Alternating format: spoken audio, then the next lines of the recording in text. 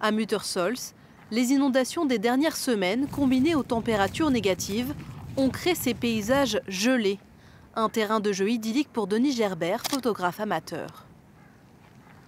C'est l'inondation qui a gelé et l'eau est partie. Et donc du coup, on, a ces petits étagements. la glace, elle est à 20 cm au-dessus de l'eau. Ce passionné d'ornithologie scrute et photographie les espèces qui nichent dans le ride en hiver. Un rouge-gorge, une mésange, des mouettes. Ces prairies inondées seraient aussi bénéfiques pour l'activité humaine, selon Denis Gerbert. La capacité de stockage de, ces prairies inondables euh, permet d'éviter euh, l'inondation de Strasbourg ou même euh, des, villages qui sont au, bord de la, de la route. Quoi. Si les températures restent négatives encore quelques jours, les prairies du Ride pourraient même se transformer en patinoire.